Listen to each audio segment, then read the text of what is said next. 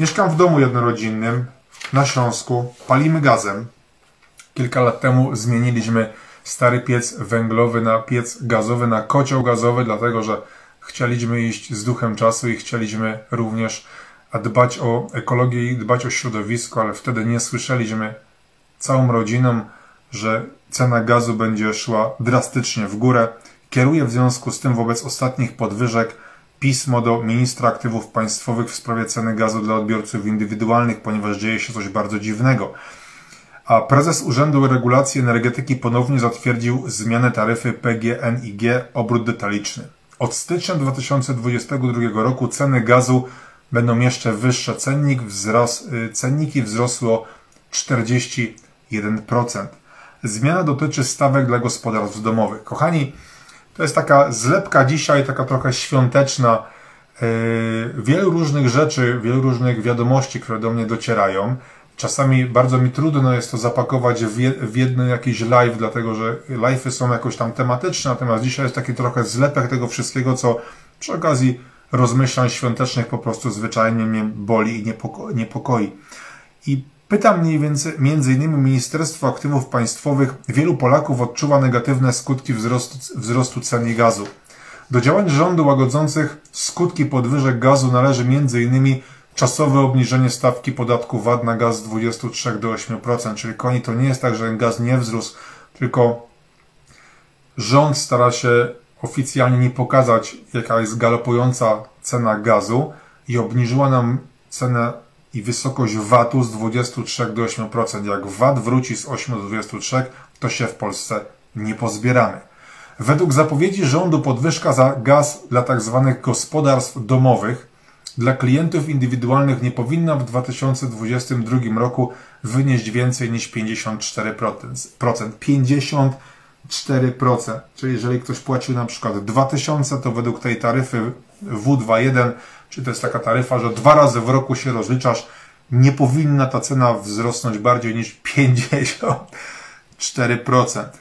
Problem polega na tym, że od stycznia 2022 roku, według nowych taryf, które opublikował PGNiG, pojawiają się za 1 kilo, za 1 kWh ceny nie 13,84, ale 24,62 zł za 1 kWh, co stanowi wzrost cen gazu 77%.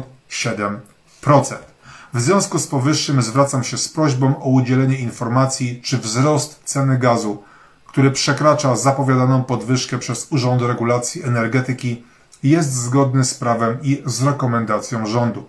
Jeśli nie, Jakie działania zamierza podjąć rząd w obecnej sytuacji wobec wzrostu ceny o 77% za 1 za 1 kWh dla taryfy W21, czyli dwa razy w roku się rozliczamy. Kochani, nowy cennik najbardziej popularnej taryfy gazowej w Polsce powoduje, że cena za gaz wzrosła 77%. Za co Polko, za co Polaku za chwilkę będziesz chciała, będziesz chciał płacić za gaz które jeszcze nas będą jakiś czas obowiązywać, chciałbym wiedzieć, w jaki sposób obecny rząd zadbał o nas, o naszą przyszłość, dlatego że wysokie rachunki gazu i wysokie rachunki ropy bezpośrednio między innymi nie tylko Was dotyczą, ale również mnie i mojej najbliższej osoby. Jeżeli pan premier wychodzi i mówi, że w Polsce jest dobrobyt, to panie premierze, ja tylko taką bardzo malutką dygresję wrzucę do pana Ogródka. W 2015 roku, czyli w czasie mniej więcej, kiedy Prawo i Sprawiedliwość zaczynało rządzenie moim krajem i nie jest to przytyk wobec PiSu, tak naprawdę szczerze, bo nie sądzę, żeby to, czy to byłaby jakakolwiek inna partia polityczna, czy coś by się zmieniło przy obecnej, przy obecnej strukturze i przy obecnej grupie posłów, którzy rządzą naszym krajem. Nie sądzę, że jest tam wielu posłów, którzy rzeczywiście mogliby coś fizycznie zmienić. Poznałem ich wielu. Myślę, że jest dużo mówienia, mało podejmowania ryzyka i mało prawdziwej tak naprawdę walki o Polskę.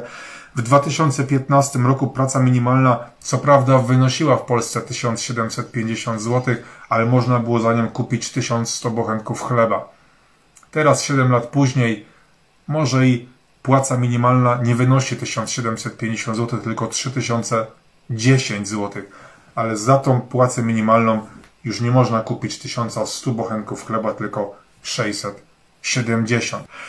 Piszę również do prezesa Rady Ministrów, ponieważ niewielu z Państwa może to śledzi, natomiast chcę, żebyście Państwo wiedzieli, że w ostatnim roku cena węgla w Polsce wzrosła 101%. 101%. W porównaniu do 2000, do 2000, do 2000 roku import węgla do Polski zwiększył się nawet o 1200%. Mając na uwadze wojnę rosyjsko-ukraińską, zwracam się z prośbą o udzielenie odpowiedzi na pytania, czy Polska i Rada Ministrów rozważa wprowadzenie sankcji lub restrykcji dotyczących importu węgla z Rosji w 2022 roku lub w kolejnych latach. Pytam również, gdyby doszło do zmniejszenia importu węgla z Rosji, z jakich Polska zamierza importować państw węgiel w 2022 i 2023 roku. Nie chcę dzisiaj mówić na temat tego, że mamy własne złoża, że wygląda to tak, że importujemy z innych państw, a sami nie korzystamy z tego, co mamy we własnym kraju. Trochę przydługawo, przepraszam, trochę być może nudnawo, ale uczciwie, zgodnie z tym, co uważam, że w takim trochę dniu świątecznym powinno być opowiedziane z takim pewnym dystansem, z troską o wiele różnych kwestii, zarówno węgiel, zarówno gaz, zarówno zboże, zarówno nasza taka, taka zwyczajna codzienność, dlatego że koronawirus jakby w ciągu kilku dni zniknął, to znaczy nie zniknął, bo już za niedługo dowiecie się dokładnie, co się wydarzy w kwestii paszportów covidowych, co się wydarzy w kwestii COVID-a, w kwestii mm, nowych aplikacji, które będą wdrażane w Polsce i będą one wdrażane przez polski rząd, ale o tym już za niedługo. Natomiast ja w tym czasie bardzo Wam serdecznie dziękuję za poświęcony czas. Kochana Polko, kochany Polaku, dziękuję za wszystko, co robicie dla Polski. Dziękuję za to, że mnie wspieracie. Staram się, jak to się mówi, nie nawalić. Staram się iść z podniesionym czołem i uczciwie walczyć o Polskę. Jeżeli chcecie, to mi to pomagajcie, bo myślę, że warto. A ja już za tydzień widzę się z Wami w Zabrzu 24 kwietnia w niedzielę o godzinie 13.30 Klub Tęcza, ulica Kasprowicza 5 a potem jesteśmy z Piotrkiem Szlachtowiczem Goczałkowice Zdrój. Miało być Pszczyna, ale do tych Goczałkowic lepiej się dojeżdża.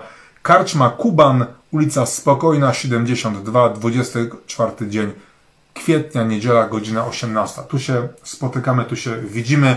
E, już jutro postaram się, żeby Wam przygotować nowe terminy, w, których możecie zadzwonić do mecenasa Korbeli i utrzymać, otrzymać bezpłatne wsparcie i, y, telefoniczne w kwestii głównie segregacji sanitarnej, ale nie tylko. Natomiast y, wiem, że się infolinia urywa, więc przypominam Wam, że poniedziałek, środa, poniedziałek między 9 a 11, środa między 18 a 20, bezpłatny numer telefonu plus 48 33 333 2900. To jest telefon, gdzie możecie uzyskać wsparcie psychologiczno-pedagogiczne. E, niestety on jest konieczny, dlatego że jeżeli chcemy się przebiec gdzieś z, narrac z narracją, to musimy zwiększać swoje po prostu zasięgi. To jest, e, to jest po prostu no, aż tak proste, że, że, że prościej się już nie da. Kopia jak zawsze będzie dostępna na YouTubie, pojawia się również ona na Rumble i świetnie mi się rozwija, również dzięki temu, że mnie motywowaliście, kanał na TikToku, gdzie wrzucam grafiki, Pewnego rodzaju są to komiksy, które próbują do młodego pokolenia dotrzeć z bardzo prostym przekazem, że nasz kraj po prostu na naszych oczach jest rozkradany i yy, nie możemy czekać na to, że ktoś coś za nas zrobi, bo, te, bo to się nie wydarzy. Albo my uratujemy kogoś, nas, albo rozkradną na naszą ojczyznę i nie będzie czego zbierać. Yy, kończąc dzisiejsze spotkanie z Wami, muszę powiedzieć również, że dzisiaj miałem nieoczekiwaną wizytę e, bliskiej mi osoby. Przyjechali z rodziną, na chwilkę wpadli, kiedy powiedziałem, czym się zajmuję i co robię i o co walczę razem z wami, to usłyszałem Grzegorz, ale to jest niebezpieczne. Uważaj, żeby za chwilkę jakaś się nie pojawiła kontrola, żeby coś się nie wydarzyło. Właśnie myślę, że tak to działa, że większość z Polaków jest zastraszonych, większość Polaków chce być w, w takiej sferze komfortu i boi się po prostu podjąć jakieś walki. Dzięki Wam jestem tak silny, jak, jak, jak, silni, jak silne są osoby, które tak naprawdę stoją za mną i stoją za fundacją, więc dziękuję za to, co robicie. Życzę Wam wszystkiego dobrego na święta. Przytulajcie się, kochajcie się, całujcie się i dbajcie o polskie rodziny, bo polskie rodziny są najważniejsze. Trzymaj się świątecznie, Polko. Trzymaj się świątecznie, Polaku. Do usłyszenia. Cześć.